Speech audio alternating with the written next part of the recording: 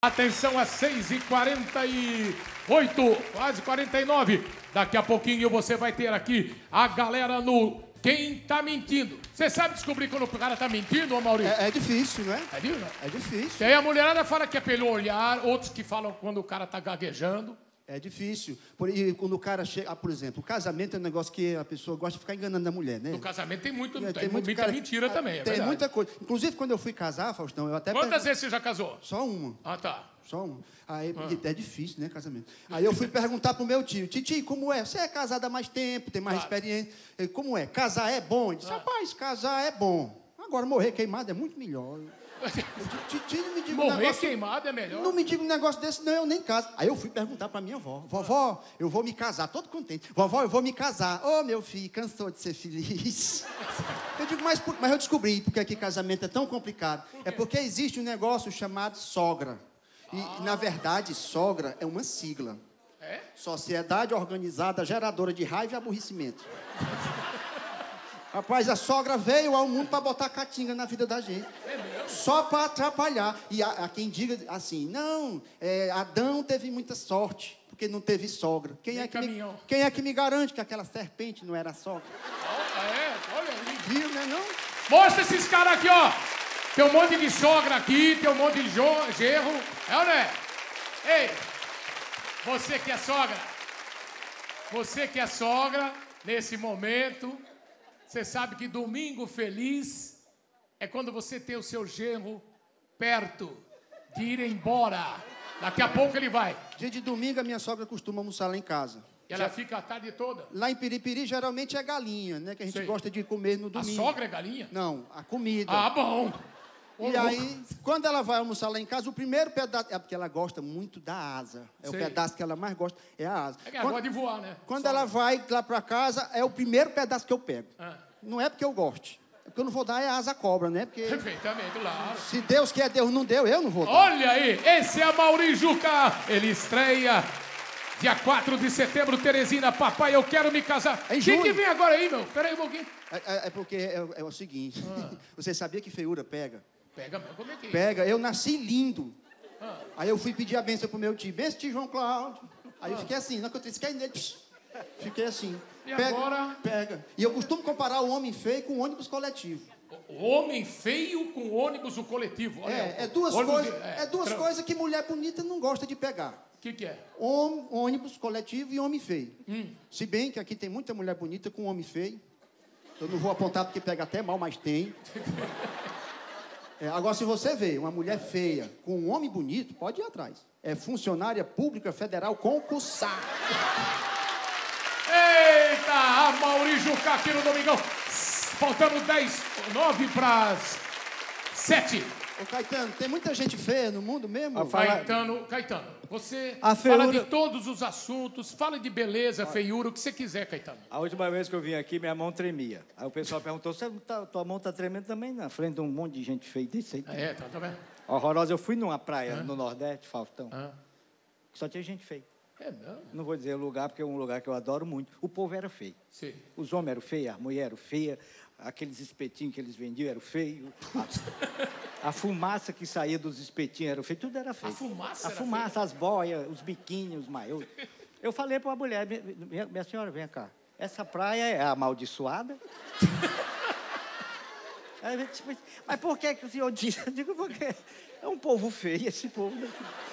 Aí E você andou bastante pela praia, tudo "Andei." conferiu. Quanto mais eu andava, mais gente feia Mas aparecia. criança feia, o velho feio, tudo. A barriga já era feia, dos, dos que vão nascer. Eu falei. Aí a mulher falou, eu digo, aqui todo mundo é feio. Ela disse, o senhor veio da onde? Eu digo, eu vim do Piauí. A mulher disse, é, moço. Eu acho que só pode ser uma maldição mesmo. Porque todo mundo é feio, é toda hora chegando mais. Eita, João Cláudio Moreno, o vencedor do Quem Chega Lá, o homem que trabalhou com Chico Anísio, o homem que conhece Caetano Veloso como ninguém, seu Caetano. O Caetano, que é filósofo, diz: a beleza é superficial, a feiura que é profunda. Muito profunda. Ainda tem uma frase que ele diz, muito boa, que ele diz: Viva Carlinhos Brown! Carlinhos Brown é lindo. Apesar daquela aparência. Pode cantar? Então, Caetano Veloso cantando no Domingão. Vamos botar um carnaval bem pra cima do meu tempo. vamos lá. Eu sou a filha da Chiquita bacana, nunca entro em cana, porque sou família demais. Puxei a mamãe, não caí em armadilha. E distribuo banana com os ânimos. Olha como é que ele dança. A minha ilha, iê, iê, iê. Que maravilha, iê, iê toda sem perder o tom. E a quadrilha toda grita, iê, iê, iê. Viva a filha da Chiquita, iê, iê, iê. Entrei mal e perca de mim, não se esqueça de mim,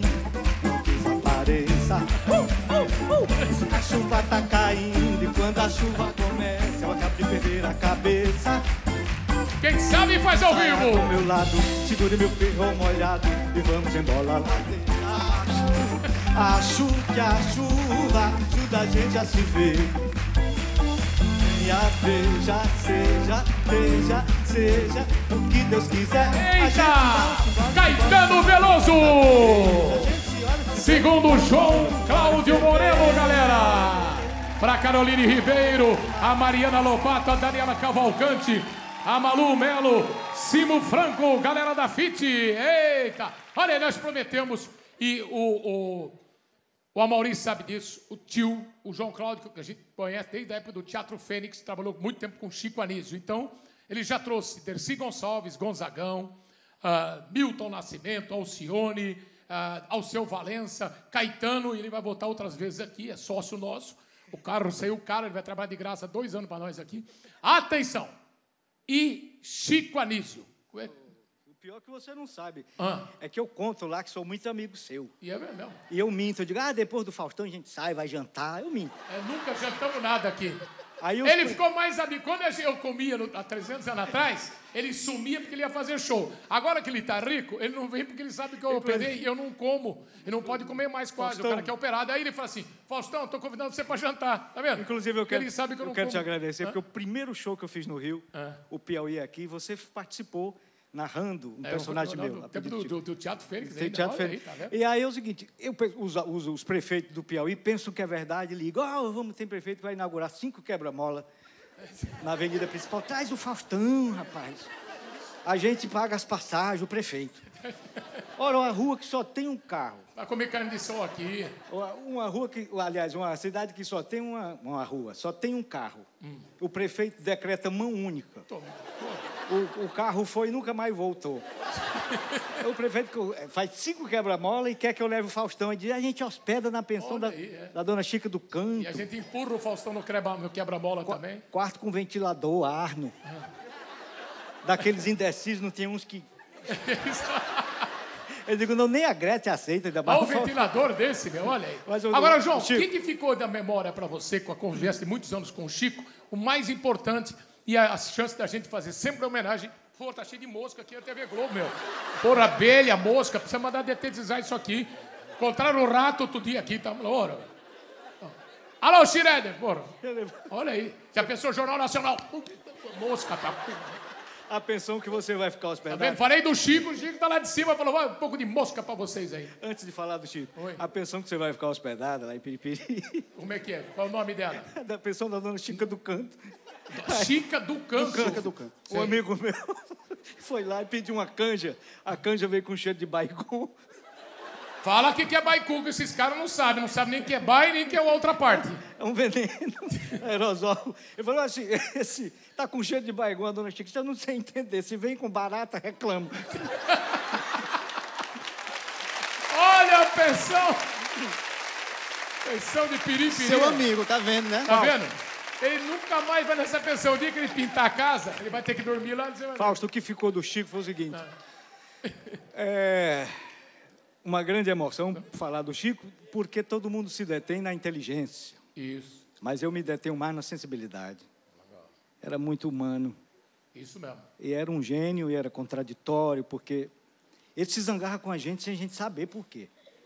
Ah, é? Coisa de gênio. Um dia ele, ele pediu para eu fazer o Faustão um tempo. E o, o diretor era o Carlos Manga. Ele falou, eu quero que, que bote o João Cláudio. Aí o Carlos Manga falou, não, o programa do Faustão é de variedade, tá cheio. Tipo, assim, se o, o Michael Jackson vier, tem vaga? O Manga disse, tem. Então pode botar, porque eu falei com ele, ele não vem. e os improvisos dele. É eu fiz o primeiro show, Chico, como é, que nota você dá para o meu show? Ele, nota? Dó. A Cissa Guimarães está fazendo uma enquete para o vídeo show. Ela perguntava assim: Você canta no chuveiro? Você canta? Chegou para o Chico: Você canta no chuveiro? O Chico disse: Não, eu, eu canto antes. Agora, se der, eu levo. Maravilhoso, Chico. Lindo. É tudo que a gente tem, né? Nunca vamos alcançá-lo. Com a emoção do João Cláudio Moreno, agradecendo essa figuraça do Piauí que trouxe o sobrinho, geração em geração. Volta sempre aqui, meu. Obrigado, João por tudo que já aconteceu no passado, você sabe o quanto é importante essa virada que você deu em todos os Sempre é tempo, Joãozinho. Obrigado, meu. João Cláudio Moreno, a Mauri Jucá, as feras aqui no Saco de Risadas.